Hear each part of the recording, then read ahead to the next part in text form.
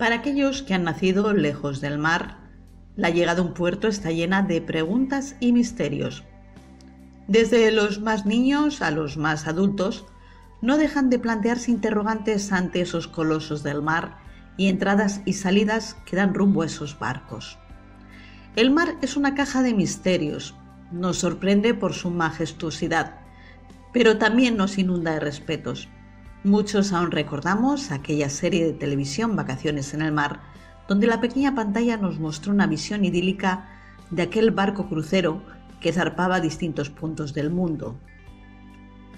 La cercanía a un puerto pesquero nos inunda de ese ambiente marinero, el olor a pescado recién salido del mar, la faena a la que se exponen los pescadores en su día a día, las historias y leyendas.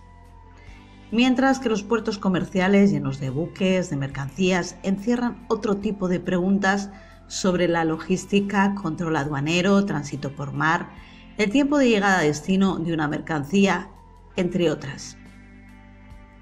Jaffa es el puerto más antiguo del mundo. Los arqueólogos de buceo descubrieron 22 anclas de piedra caliza en la zona de los amarres que podrían haber caído de los buques. El faraón Keops erigió este puerto a 180 kilómetros del sur de Suez. Por lo tanto, ¿qué historia no habrá vivido un puerto? Desde aquella salida del transatlántico británico, el mayor barco del mundo por aquel entonces, el Titanic, que se hundió en la noche del 14 a la madrugada del 15 de abril de 1912 durante su viaje inaugural, hasta la alegría de ver la entrada y salida de los mayores pesqueros del mundo que procesan toneladas de pescado al día.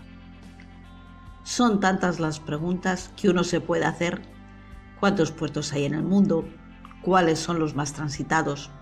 ¿Cuáles son los más grandes? ¿Cuáles son los más pequeños? En Puertos en el Mundo te vamos ofreciendo estos interrogantes que quizás te has hecho alguna vez o quizás ni te habías planteado.